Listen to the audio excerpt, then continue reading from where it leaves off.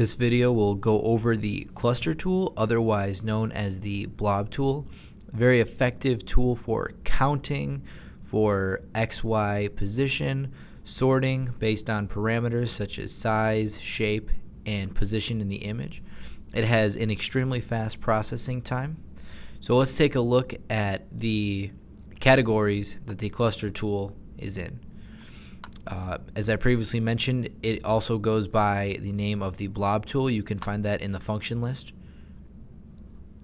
You can find it in the position angle category under the cluster tool because it will give you an XY position.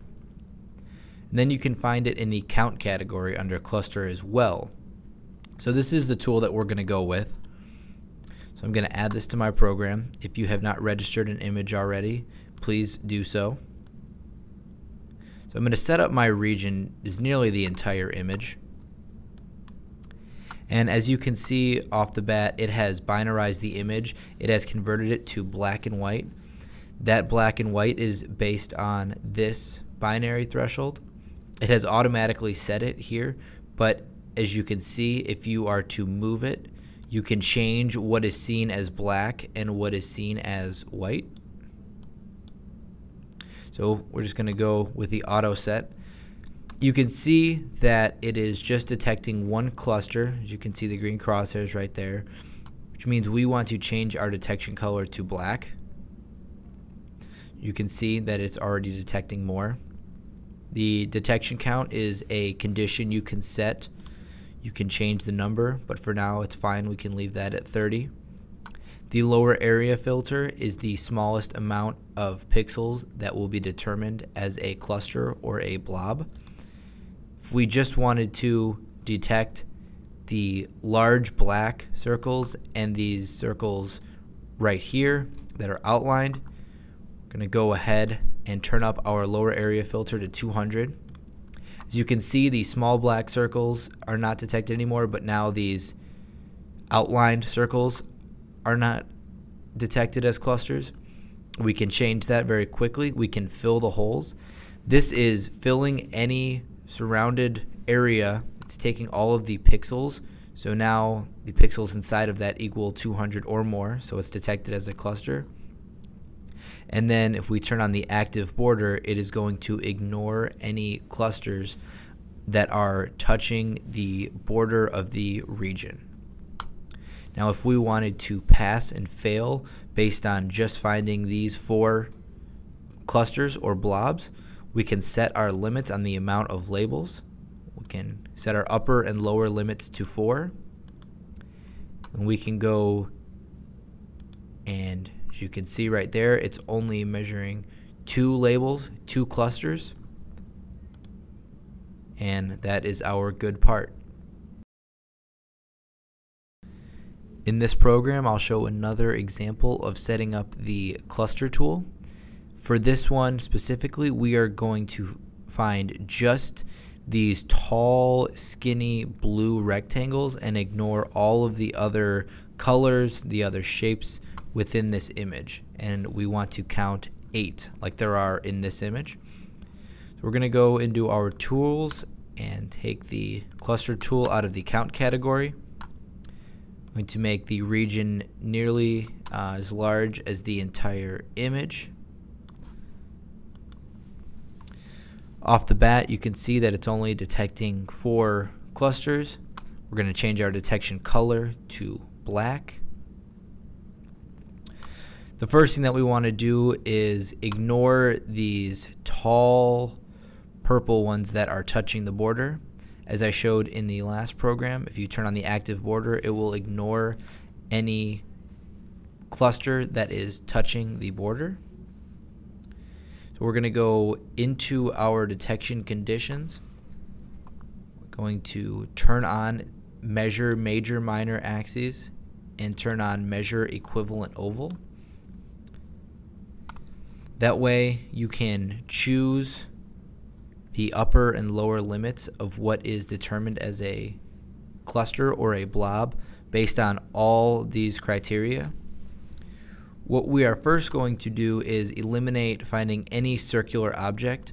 So we're going to change the upper limit of roundness to 0.7. As you can see, we are already ignoring the circles.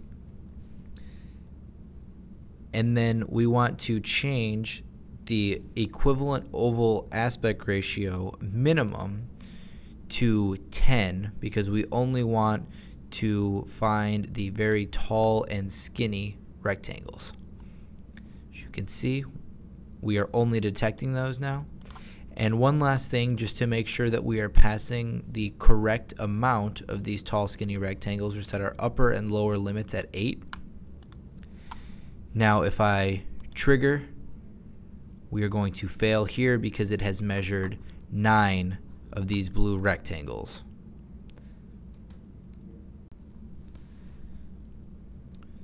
Now for a little bit more realistic application, we will look at this image uh, containing what looks to be 24 tablets. We want to not only make sure that there is 24 in each package, but also make sure that none of them are broken, chipped. Just make sure that they're all there and it's going to be a good part when it gets into the consumer's hands. So we're going to add our cluster tool again from the count category.